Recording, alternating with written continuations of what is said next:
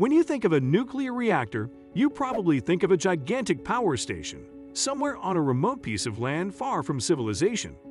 This story teaches us that things don't always have to be that way. This Boy Scout decided to build a nuclear reactor in his mother's backyard. The protagonist of this story, David Hahn, was an ordinary young man from Michigan in the United States. He lived with his mother in Detroit. From an early age, David had been obsessed with chemistry. Where other children express this interest by mixing different shampoos so that they can feel like a scientist, David took a different approach. At the age of 14, David already managed to manufacture nitroglycerin. Nitro what? Nitroglycerin.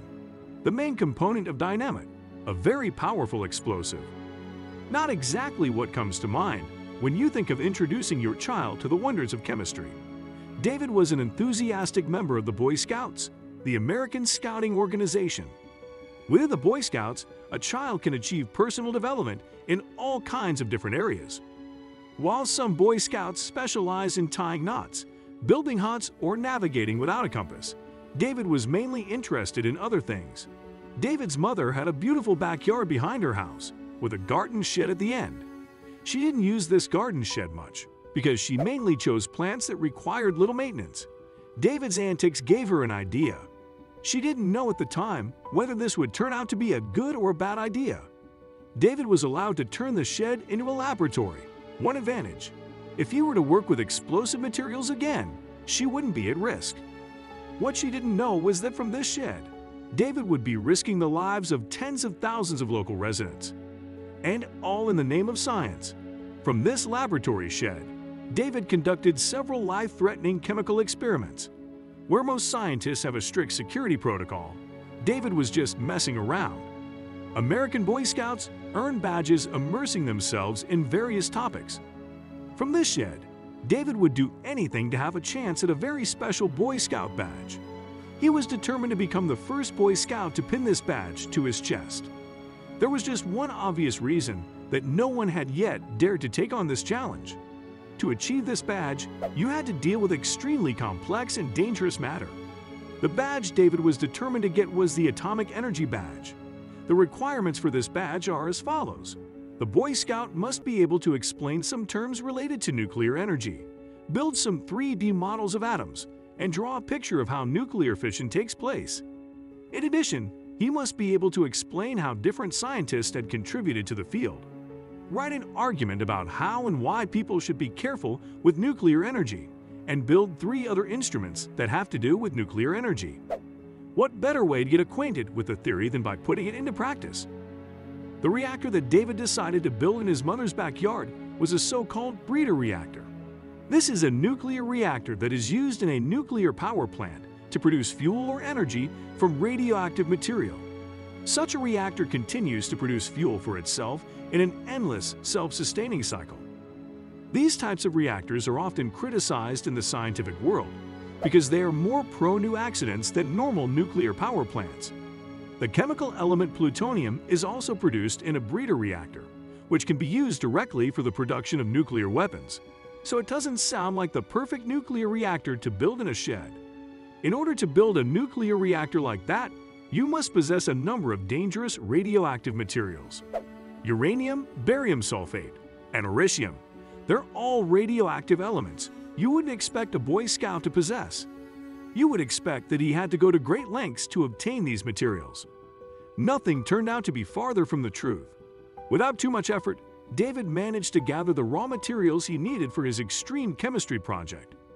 After the ensuing fiasco, the US government became a lot more vigilant when it comes to these kinds of materials, especially with regard to potential terrorists. You're speaking with. David didn't have to work very hard. He didn't come up with an overly complicated plan to get the material. No, he just called up some organizations and pretended to be a chemistry professor. He wrote a few letters to some institutes, signed under a false alias, and before he knew it, he had laid his hands on dangerous radioactive materials. He contacted the Nuclear Regulatory Commission, NRC, the American Nuclear Society, ANS, the Edison Electric Institute, and the Atomic Industrial Forum. None of these parties questioned his identity. They were all happy to help with his life-threatening chemistry experiment. David had also discovered that small amounts of radioactive material could be found in everyday objects. For example, he extracted the substances from smoke detectors, old luminous clocks, and camping lanterns.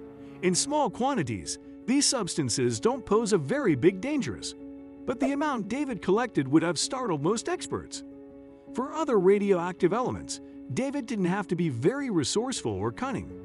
For example, he just placed an order for the extremely dangerous radioactive substance uranium in Czechoslovakia and asked the local hospital for some barium sulfate. It didn't take long before he had both substances in his laboratory. Now that he had all the materials, he could get to work. But whether this would turn out to be a good decision, as described earlier, breeder reactors are often criticized. That's why not many have been built. The breeder reactors that have been built have now all been decommissioned. Either they were closed because they proved too dangerous, or they had caused a nuclear meltdown. That sounds just as dangerous as it really is. If professional breeder reactors have already proved to be too dangerous, how on earth was David supposed to succeed? A Boy Scout without any formal education who built an enormously unpredictable nuclear reactor with household materials. No wonder this story ended badly. And all this in his mother's backyard. This is how it happened. David Hahn built a nuclear reactor in his mother's backyard shed. He made a reactor core from the radioactive radium and americium he had collected from the clocks and smoke detectors and wrapped it with foil-wrapped blocks of thorium with some uranium powder. David added blocks of carbon to this and wrapped it all up with duct tape. The homemade nuclear reactor turned out to be functional, much to David's delight. He had managed to build a nuclear reactor in his lab. Now he had to get that atomic energy badge. The reactor worked so well that David was able to measure the radioactive radiation from his nuclear reactor up to five houses away. That was not quite what he'd intended. He put the health of his neighbors at risk. David may have been very indifferent with respect to his own health, but the health of other people was very important to him. As extraordinary as this chemistry experiment was, this was a step too far for him. He decided to dismantle the reactor. He managed to do this as well without anything going wrong, which in itself was quite an achievement too. But now he had to find somewhere to get rid of the radioactive material. There is no bin for radioactive waste at the landfill, so he had to get creative. David faced a difficult choice. He couldn't turn the material anywhere without casting suspicion on himself. What Boy Scout walks around with a huge amount of radioactive material? They would probably think he had terrorist plans. No, he had to get rid of it in secret. Burying the material was not an option either. This would poison the soil to such an extent that the area around his house would become uninhabitable. He was very fond of his neighborhood, so this wasn't a good choice either. There was nothing he could do but to move the material to a place where he would not be bothered by it. That evening, David's neighbors called the police, not because they had suddenly grown an extra finger or leg because of the radiation, but because they thought their neighbor was behaving very suspiciously. He was busy with a car, and in the dark, it was difficult to see exactly what was going on. When the police arrived on the scene, it turned out that the report had been wrong. The officer had expected to find a boy who was trying to steal a car. But no, the car turned out to be the boy's own. Not that there was nothing insane going on, because the boy in question was busy loading something very bizarre in his trunk. The cop who brought David in had no idea what he found. All he knew was that the young man was acting suspiciously. He took David to the station for further investigation. The nuclear reactor went along as well. David decided to report that it was radioactive material. This changed everything. Suddenly, all kinds of authorities got involved in David's arrest. As a result, it took months before any progress was made. It was only after a long time that the Environmental Protection Agency, EPA, went to David's house to assess the damage. The EPA had gone to David's house and had carried out several tests there. They wanted to know what damage David had done to the people and the environment around his lab shed. David had expected it to be not too bad, which is why he was shocked when the researchers discovered how badly it had gone wrong.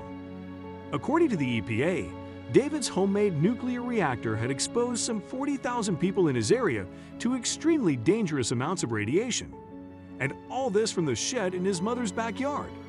This would have huge effects on the health and lives of those who lived around him. David Hahn, the Boy Scout who exposed 40,000 people to dangerous radioactive radiation, died at the age of 39. You would expect this to be the result of his chemistry experiment, but no. The amateur chemist died as a result of drug and alcohol abuse.